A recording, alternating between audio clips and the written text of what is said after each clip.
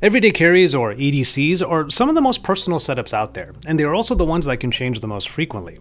Especially for someone like me that's always trying out new forms of tech, things can change up real quickly. But one thing has always been a part of my EDC philosophy it should be effective, yet efficient. And I think I've found a pretty great setup that encompasses that philosophy. One, in fact, that has been more than an everyday carry, but has also worked as a travel setup as well. So let's get this cool backpack opened up and show off what's inside.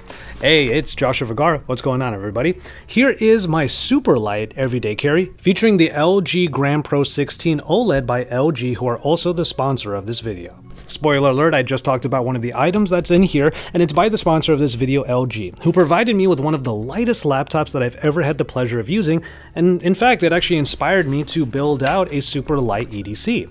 Now we're going to get into the LG Gram Pro 16 OLED in a little bit, and I'll tell you why I've had a lot of fun with it. But for now, let's take a look at the vessel that is holding all of my fun toys and tools. It would not be a proper everyday carry without talking about the thing that literally carries all of the stuff. Shouts out to Aer, who let me try out a few of their most recent backpacks, and I actually surprised myself when I decided to go for the smallest of the bunch, the Daypack 3. This is the latest iteration of their popular EDC bags, complete with a water-resistant sailcloth material called X-Pac, which gives extra protection to all of the items I have inside. And it's not just a gimmick. The X-Pac material literally saved me when there was a coffee mishap on a recent flight that I took. Now, I'll quickly mention that if you're looking for a similar bag like Aer have here in the Day Pack 3, but you might need like more capacity, they do have plenty of options. They had me try out the Tech Pack 3, which adds a few liters of capacity by separating the laptop pockets from the main compartment. And then there is the Go Pack, which foregoes all of that extra organization we're about to talk about for a simpler design that has one large compartment that you can figure out or Lego things into yourself. This bag is actually a departure from the usual backpacks I use, which are camera bags, and as a result result, this might be the smallest backpack that I've used regularly. I do have a little bit of customization here. Uh, I have one little keychain slash tag over here that is from the anime Initial D. And the handle on the side is handy because also handy down here is a luggage pass-through, which again has come in very handy for some travel I've done. The 14 liter capacity of this backpack is mostly in the large main compartment, but we're actually going to put that aside for now to talk about the other bits of organization that is here. I would actually argue that this bag has the same level of organization as many camera bags, only you're not organizing cameras and lenses. Instead, you're organizing a plethora of daily essentials. And that all starts with the admin panel up front, which I just showed off. Well, I do have to take this out first, because why wouldn't I have a snack in here? Uh, this is a bag of my favorite crunchy black edamame, and it basically lives in this part of the day pack 3. I definitely had it on hand during the recent trip alongside a collapsible water bottle that went into the, where is it, the side pocket bottle that is over here. Okay, one of the top pockets of the admin panel goes to a chosen smartphone, uh, usually my secondary smartphone because my main smartphone tends to live in my pants pocket. But for now, I'm showing off my main phone. This is the Xiaomi 14 Ultra. I still have to do a video on this one, but I have been using it as a great everyday camera, both for photos and videos, and there's a lot to share there, so look forward to the video on this one coming soon. Now the pocket below that has a power bank, and this one is from the friends over at Sharge. This is the super cool ICEMAG battery. This one's really nice because as you can see down here, there is a fan to help keep the temperatures down during wireless charging especially. It's also MagSafe compatible, uh, so it'll latch onto anything that has a MagSafe magnet, and if you need to do more classic charging, there is a USB-C port right here. And since we're talking about the power bank, I do want to show off that there is a more flat pocket here in the back portion of the admin panel. Uh, this is where I would put maybe receipts and stuff like that, but usually it is for for my various USB-C cables and a pair of wired earbuds in case I need them. But that brings us to one of the most important items in my EDC. Over here in this other top pocket is something that I do have to take out fairly early because I might actually use it to get b-roll for this video. That's right, like many YouTubers you might be following, I also use and adore the DJI Osmo Pocket 3. Again, I haven't done a full video on this camera yet, uh, mostly because I have actually been using it to get a lot of videos done, but rest assured, I will give you my thoughts on this pretty soon. The Osmo Pocket 3 here is actually proof of a prediction I made not too long ago. I was saying that with 1-inch sensors showing up in a lot of smartphones that we were going to start to see them everywhere. Well, here comes DJI and they take one of those sensors and just build a whole gimbal around it. The result is one of the most versatile, fun, and honestly convenient cameras that I've ever had in my arsenal. And as you can probably tell, it's part of the reason why I decided to go smaller and lighter with my EDC. There's just a joy in the fact that cameras are getting smaller and smaller, but they are making my work easier to do. The Osmo Pocket 3 can record vertical video for like social media platforms or the classic horizontal way for long form videos. And since I got the creator pack, I also have the DJI Mic 2 paired up with the Osmo Pocket 3, uh, making it really easy for me to just set up the camera and get some talking head footage. Smooth and reliable footage captured in a pocketable form factor just makes the Osmo Pocket 3 a camera I always make sure to have in my EDC. That creator pack also comes with some accessories, including a tiny tripod for the tripod adapters, one of which is actually a power bank on its own. So you can get some extra battery uh, on the Osmo Pocket 3, and this actually makes it easier to hold for things like vlogging. But I'm going to jump into the main compartment of this bag for a second to show you a tool that I use with the Osmo Pocket 3 all the time. This is an extendable selfie stick by Ulanzi. This is the MT44 and it's actually one of a handful of tripods that they have in this style. Basically, the legs deploy like that, so it's not quite a tripod, but it does stand on its own. And then you have an extendable bit right here that can get pretty tall. Given how small and light my cameras are, this tripod helps prop them up easily and at the right angles for things like talking head footage. One really cool thing is that the tripod head, which is also a ball head, has an integrated phone mount, so I could just clamp my phone onto here and I have a easy to use tripod on the go. But as you probably saw a second ago, I had the tripod adapter for the Osmo Pocket 3 uh, almost permanently affixed on here because it just allows me to easily snap the Pocket 3 onto here and then bring it up in order to get the right height for my various videos. Most of the time I don't even use the active track following on the camera. The gimbal just keeps things stable and steady for me to just jump in and out quickly from the frame. And seriously, this whole setup right here has made getting content done on the go way easier than it has ever been.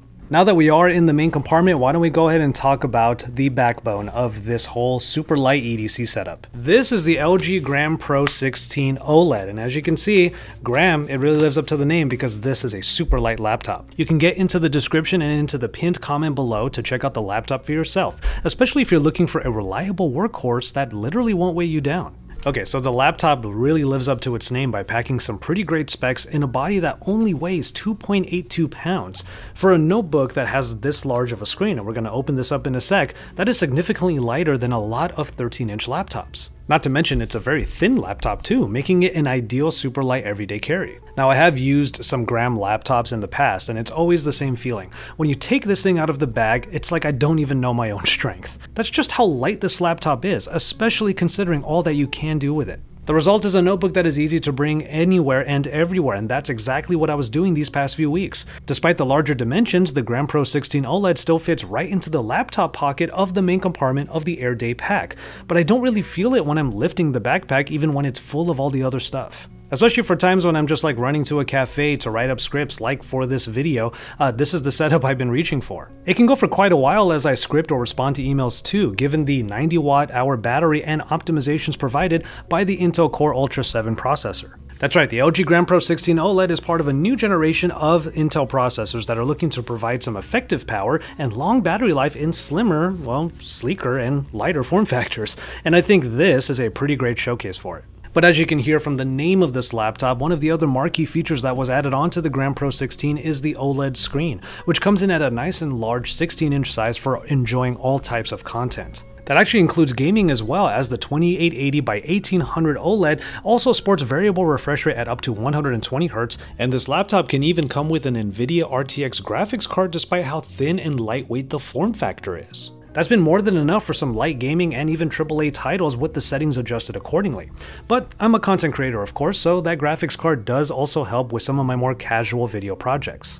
Now, I would still make some proxies and adjust settings to work smoothly in DaVinci Resolve, but I have definitely enjoyed using the Gram Pro 16 OLED for like short form videos on places like Instagram Reels or YouTube Shorts. That also gets helped along with certain features that LG have baked into this laptop, including LG Gram Link. This is a way for the LG laptop to connect to basically any smartphone in order to sync up notifications, do screen shares, or access files like photos and videos. That's where Link came in handy for me because it was easy to move content over from my smartphones and then throw them into DaVinci Resolve for editing and then right back again for posting on social media. But of course you can do transfers via the USB ports, you have a couple of A ports over here, and then the USB-C ports here also support Thunderbolt and charging connectivity. Again, light and nimble is really the name of the game here, and it's exactly what made my recent trip much easier to bear because I didn't have a ton of heavy stuff literally weighing me down and tiring me out. The LG Gram Pro 16 OLED was able to keep up with me just fine with the Core Ultra 7 CPU, and it was able to give me just enough power to get my content creation or some gaming done, all with a screen that I can just sit back and enjoy during long layovers.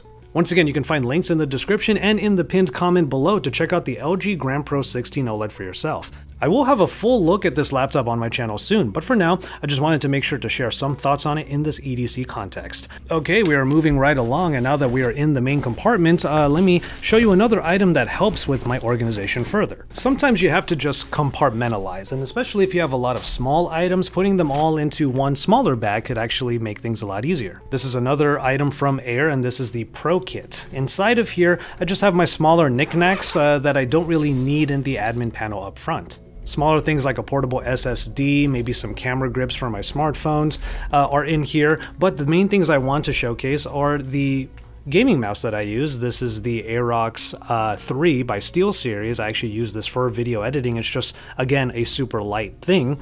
And then I have a power brick right here from Ugreen that can go to up to 140 watts charging. There are multiple ports on here, so this is literally what I use when I'm on the go to charge up everything in this bag, including the laptop. If anything, the Pro Kit here is what I make sure I have no matter what setup I'm traipsing or traveling around with, because all of these items will help out one way or another no matter what the main items are in the bag. We have one more item in the main compartment, but before I get to that, uh, we can just pop to this top pocket here, uh, and it's one of the many extra pockets that are available for small things like a pair of wired earbuds, of course the Nothing Ear A, which I am reviewing right now, and then I also have the PGY Tech uh, card reader and card holder. So I have a bunch of SD cards here in case I do need them for further recording. Speaking of cameras, we're emptying out the main compartment with one of the most talked about cameras in recent memory, and yes, this is my Fujifilm X100VI. I actually just put out a full video on this camera already. In a nutshell, I adore this camera because it made me enjoy taking just pictures again. Like, I'm a big video guy, obviously, as a YouTuber, but I decided to buy and then ended up keeping this camera because it's the film simulations and the end results that make you think like you just you just can't take a bad shot. But of course, the YouTuber in me still has to have some good video capabilities, and that's exactly what Fujifilm brought to the table with this new camera. 4K at up to 60 frames per second, or oversampled 6.2K footage is just great to have. And honestly, it's just fun to use. The retro stylings make this camera a fashion statement in and of itself, but the design also makes it so that the camera slots right into the main compartment above the Aer Pro kit in my backpack without any fuss. I mean, sure, the DJI Osmo Pocket 3 is my go-to for quick and easy filming, but when I want to get even more creative or just put some real style into my videos, the X100VI is here to cover those bases. And it's just another example again of how the main toys and tools that I would need to work on the daily are getting smaller and yet more effective. I couldn't even imagine making a whole setup like this even two or three years ago and have it be so light. But yeah, I've been focusing on all of the work and whatnot, but the final item that I want to show off in this super light EDC video is a bit of a curveball, and I think it's just a lot of fun.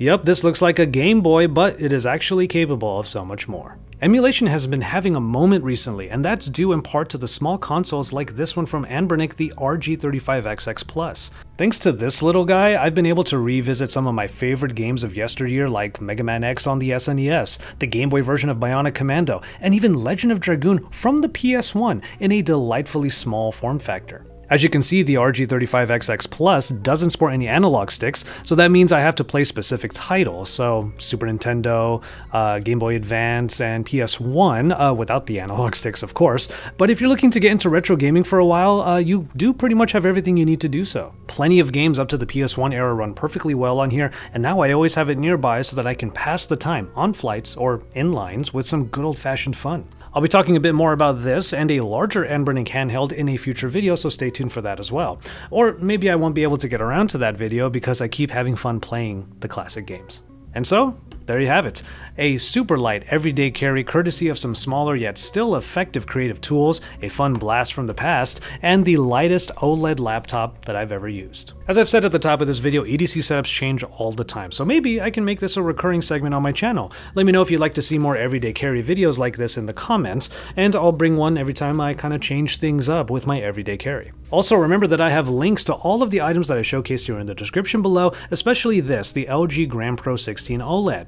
But with all of that said, I'm going to go ahead and, uh, well, pack everything up and call it on this one. Thank you so much for kicking it with me again today. Please take care of yourselves and each other and enjoy your tea, everybody.